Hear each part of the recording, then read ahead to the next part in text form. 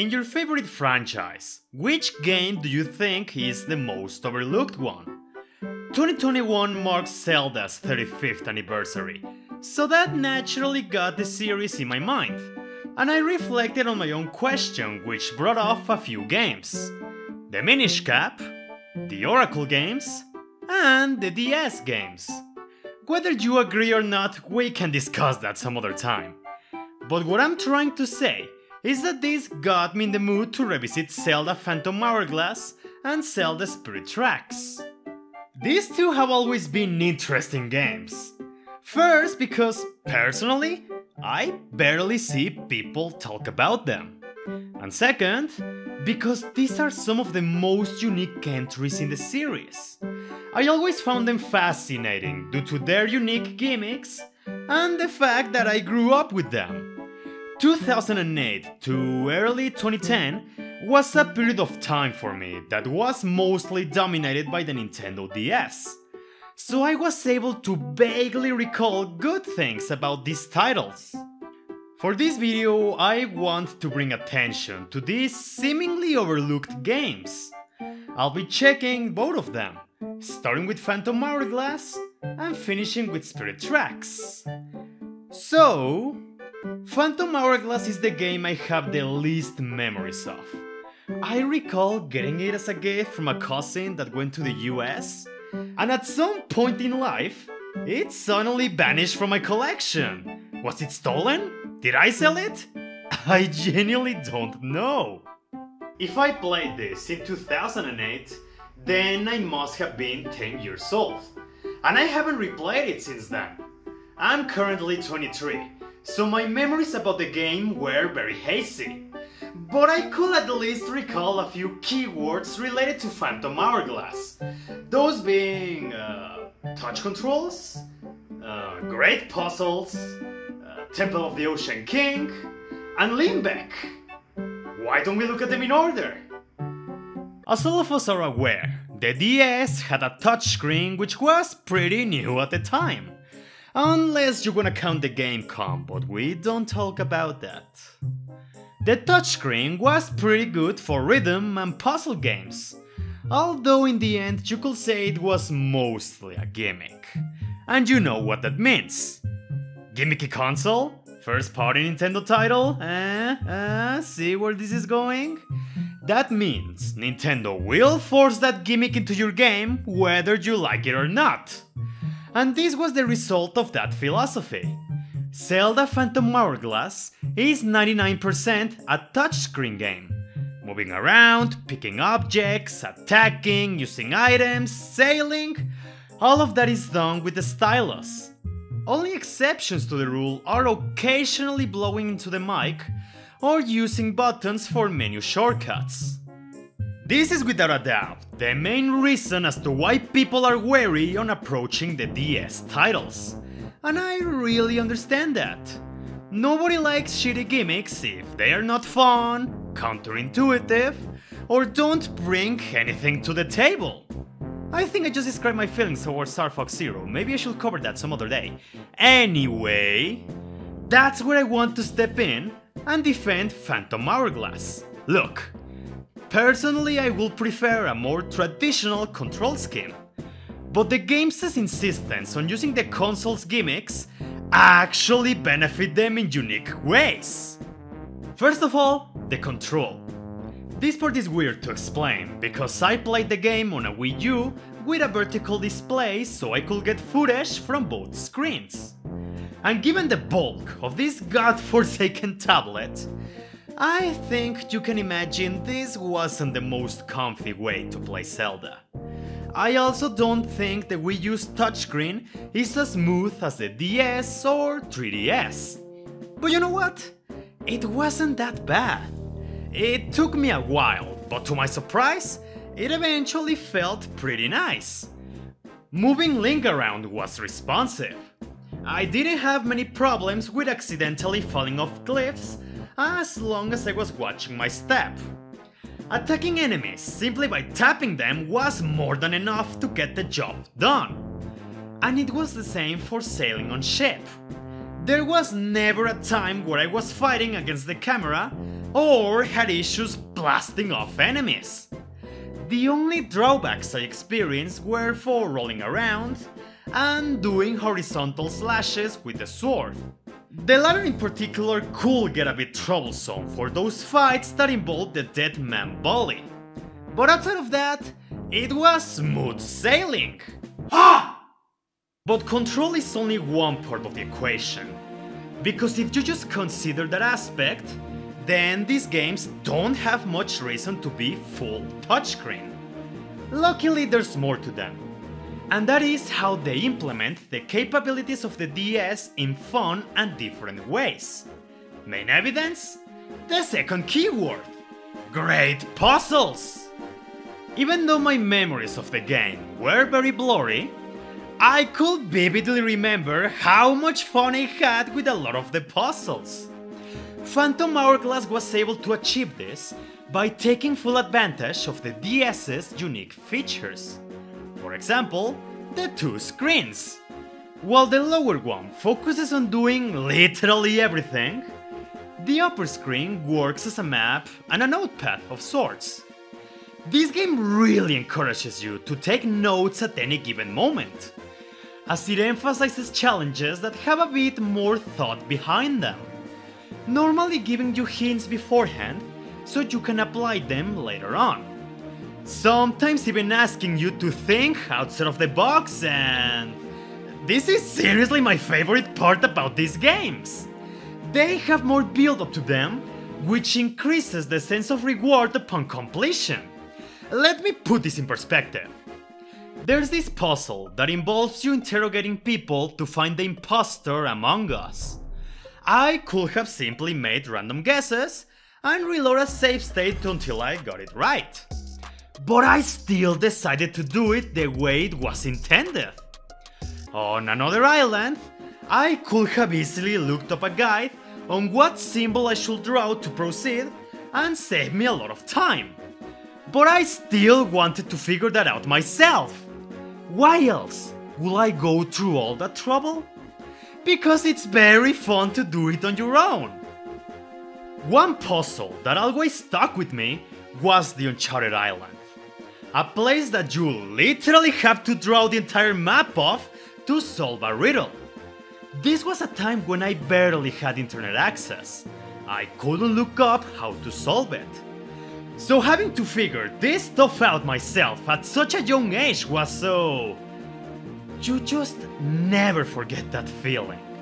And Phantom Hourglass has a lot of cool moments like that. But what surprised me the most is that it was still able to catch me off guard at times. The first boss, Blaaz, is super simple. You have to make its three copies merge together with the boomerang. For some reason at first I wasn't getting any results. But it wasn't until I looked at the upper screen and noticed their icons had differing numbers of horns. So by hitting them in order 1, 2, 3, the rest of the fight became a no-brainer. It was so dumb, but that made me laugh. It's the small things that make you go, Wow, I'm a fucking dumbass! One thing I wanna make note of is that this is the first Zelda game that doesn't introduce a new item. All the ones you have are brought back from past entries. And it's funny, cause that isn't an issue in the slide test. Because thanks to the game's unique features, most of them get a different functionality that gives them new air. And their usage doesn't run out as soon as you finish a temple, cause they still serve a purpose later on. Whether it be puzzles or boss battles, they are very fun to use. Speaking of, I fucking love the boss battles in this game. I already mentioned Blaaz, that was cool, but there are a lot of standouts here. Crayk was genius by using the top screen as a first person perspective to shoot him in the face. And Eox, ooh, it was so cool bringing down a golem with your hammer. All of this makes Phantom Hourglass sound like a really good game. But after this playthrough I can say, it is! But then there was something else. Something that people really hate about it. And that is actually the next keyword. The Temple of the Ocean King. This place is infamous among Zelda fans. Easily the biggest point of discussion in this game. For those who are not aware, the Temple of the Ocean King is an area that must be revisited a minimum of 5 times in order to beat the game. Problem is, every time you return, you are forced to start from the beginning and redo all the challenges and puzzles. And to spice things up, you are forced to deal with phantoms. These huge chunks of armor that you cannot kill, and the whole place will suck the life out of you unless you're in a safe area or have enough time left on the titular Phantom Hourglass. With that I think you now get the idea that people loathe this place. But can I be real with you for a moment? My main memories about this place were death, death and death. Ironically, that forced me to overcome my fear of dying in Zelda, but anyway, now that I have replayed this again, the Temple of the Ocean King isn't as bad as I remember it. Yes, having to do everything again does suck. But I think this also highlights a clever design. Because every time you return, you already have an idea of what to do. And now that you are back with new items, you have new ways to overcome those challenges, which often result in getting treasures and finding shortcuts. I also forgot that there was a checkpoint that takes you to the halfway point, which saved me a lot of time. So yeah, this place was much better than I remember it being. I understand its design is not everyone's cup of tea, but me?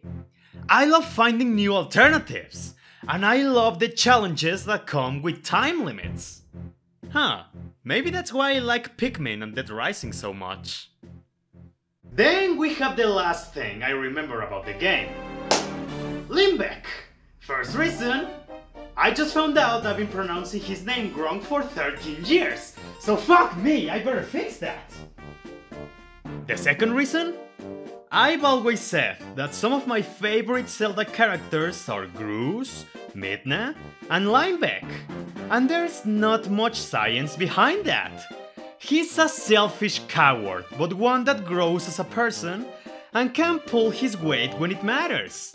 A highlight for sure, but the other characters and the story are something extra to enjoy.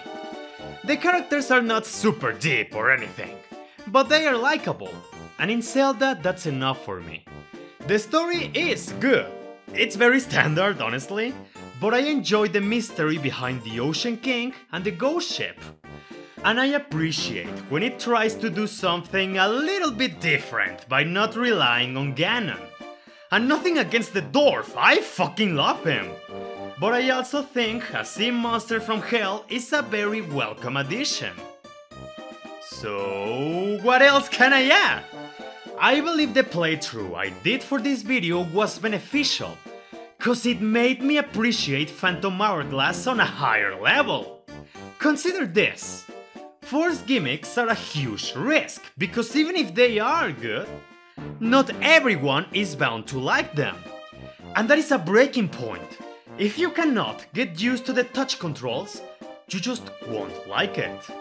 Easy as that.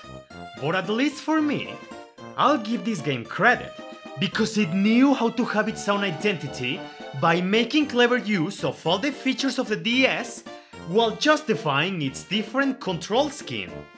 You know which Zelda I don't like? Twilight Princess!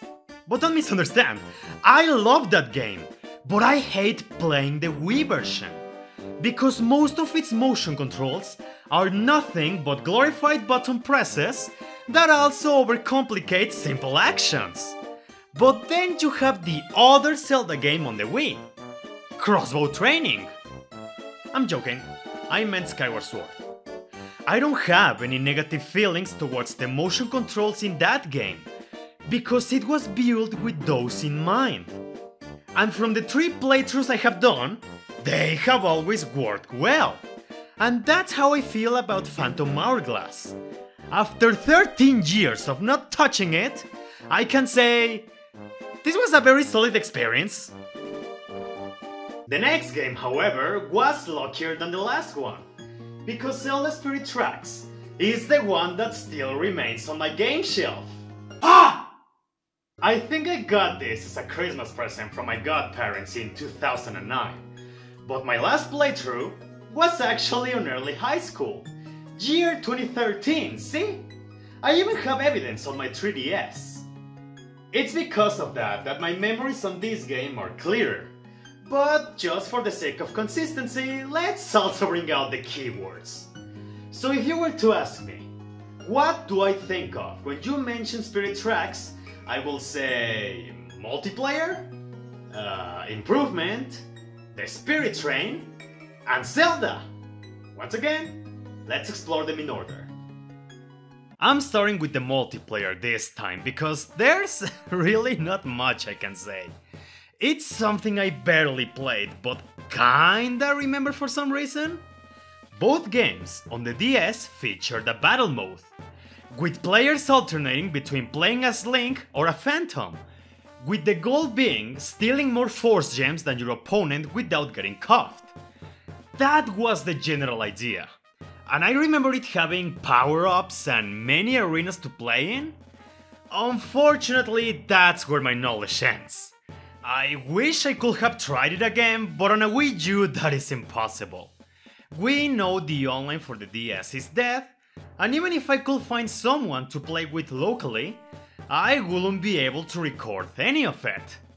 I just wanted to mention the multiplayer because it's a pretty obscure mode in Zelda history. I don't know many people who got to experience it. So anyway, let us move on to Spirit Tracks by checking the next keyword. Improvement! Simply put, this game is superior in almost every single way. The control. I don't know if I was just used to playing on the gamepad, but simply moving around felt better. Actions such as rolling were easier to execute and attacking by drawing lines suddenly wasn't a problem anymore. The only time I ever had issues was with the Spirit Flute. To play it, you match the colors and blow on the mic. Easy as that. But the problem is, this thing only works when it feels like it. Because I was constantly messing up simple songs. And I don't know who to blame. Was it the gamepad's mic? Is it the game's fault? Or are my lungs that fucked up already? I think it's the second, because I can even recall having the same problem back in 2013. I found myself blowing air in different ways, but every time I will get different results. Remember that SpongeBob episode where Squidward struggles to make a bubble? That's how it feels. This thing blows. Ha! Back to the positives. To differentiate Spirit Tracks from its predecessor, most of the items in this game are new. A whip to swing around and take away shields, a propeller that can get rid of poisonous areas, and a sand wand. What a great item that is! So good, it was even made into a weapon in Hyrule Warriors. And once again, they make all the dungeons you visit so fun and different from one another while also delivering creative puzzles and top-notch boss battles. Cragma! This is one of the few names I have always remembered because his fight is the best in the game. And I think the developers knew, because he's the only boss with an official art this detailed. And speaking of something similar, the presentation is a step up. The menus are more intuitive and everything is more organized. The character models look cleaner, there's more detail in their expressions, there's far more cutscenes this time around, and I also feel like the colors stand out better. The setting is much more varied. Not like Phantom Hourglass didn't offer different areas every now and then, but they are clearly more defined in Spirit Tracks. The overworld is a good example of this. I love how, while traveling, you can be in one realm but still be able to recognize another one far off in the distance. For the DS, that sure is impressive. But without a doubt, the greatest improvement that Spirit Tracks made over its predecessor is its equivalent of the Temple of the Ocean King. The Tower of Spirits serves the same purpose. A dungeon you must revisit numerous times in order to progress. But, but, now you don't have to worry about redoing the same puzzles over and over. If you unlock a new area, you can access it right away. And rejoice, people who hate time limits, because the place no longer saps your life. I want to think this was done to develop more elaborate puzzles and an extremely important mechanic, but I'll get to that later. Wanna know what other improvement also rivals the Tower of Spirits in my opinion? The soundtrack. Yo, yo, yo! Ah! I didn't mention it when I talked about Phantom Hourglass because it's not very good. It's generic, it's forgettable, and its best tracks are rearrangements of other Zelda games. Except Linebeck's theme. That song is really good. But then comes Spirit Tracks who says, Hey! I'm actually gonna try this time! Most towns share the same theme, but you wouldn't notice it because they all have different compositions that fit with their setting. Others are entirely original. There's far more variety for the dungeons, the boss themes are so upbeat and climactic, and the cherry on top, the overworld theme. What a beautiful song that tells you what Spirit Tracks is all about. It goes without saying that everything I have mentioned up to this point can be considered an improvement over Phantom Hourglass. And it makes sense. The developers knew what worked, they were already used to the DS, so it only makes sense they went all out. But there has always been one thing that leaves me mixed. I like it more, but I also kinda don't. That being, the Spirit Train. I'm aware I didn't say much about sailing in Phantom Hourglass because I don't really have much to say. I mean, you draw your cards, shoot a few things, salvage treasure, play a really fun fishing minigame, solve a few puzzles, or occasionally discover new islands. For me, sailing is just that a thing you have to do and enjoy. But the Spirit Train in Spirit Tracks leaves me all over the place. There's things that can be considered improvements, but also drawbacks. For example, traveling. Since the train, obviously, has to stay on tracks, the amount of roads you can take to your destination is limited. Sure, you can unlock extra roads by helping people, but it's not the same as having a full degree of freedom. Sometimes this presents cool challenges, like the giant spider inside the cave. But other times, said challenges can feel like padding. Oh, there's an insta-kill obstacle in your way? Then take the extra long road to overcome it. And that's my problem. Because depending on the context, I can be having fun or be on autopilot wishing to get to my destination already. A huge step back about the train was the fast travel. In Phantom Hourglass, it was as easy as meeting a frog, drawing the corresponding symbol, and that was it. Spirit Tracks made it more like Castlevania Symphony of the Night, where you go through gates connected in pairs. Say you wanna fast travel to the Snow Realm. You still need to find the specific gate and make sure you activated it beforehand if you want it to work. I don't want to sound like I actively hated the train, no. Because if that was the case, I wouldn't like Spirit Tracks as much as I do.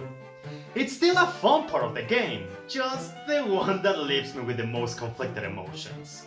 But anyway, then I remembered something I know I have always liked about the game that being the final keyword. Zelda! This is something I've never forgotten. Fans often debate which Zelda, the character, is the best. Most will tell you that it's Skyward Swords, and I will agree with that if it wasn't for the fact that Spirit Tracks Zelda exists. This is one of the best incarnations of the princess, if only because she actually does shit in the game. I find it hilarious that they even joke about it.